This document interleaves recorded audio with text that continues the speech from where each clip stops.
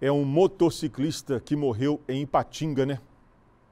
Exatamente, Saulo. De acordo com o boletim da Polícia Militar, a vítima é Cleiton Andrade Soares Samora, de 40 anos.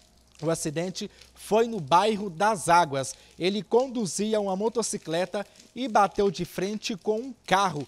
Por causa do impacto da colisão, a vítima teve a perna amputada. A moto parou às margens da avenida e algumas peças se soltaram. O corpo de bombeiros foi acionado, levou o homem para o hospital Márcio Cunha, mas ele morreu ao dar entrada na unidade.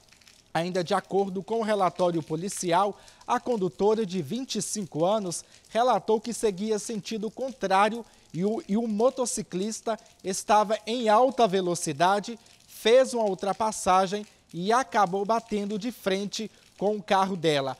A versão da motorista foi confirmada por uma testemunha.